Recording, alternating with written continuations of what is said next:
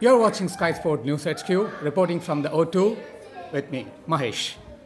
Today's headlines Manchester City and Chelsea are set to learn if they face further FA disciplinary action in the fallout from Saturday's fiery fixture. Sergio Aguero's wild tackle on David Luiz in City's 3 1 defeat to Chelsea earned the Argentina a red card and sparked a mass scuffle involving players and staff from both sides at the Etihad. David De Gea's early Manchester United criticism should be remembered before judging Liverpool's Loris Karius, says Chris Kirkland.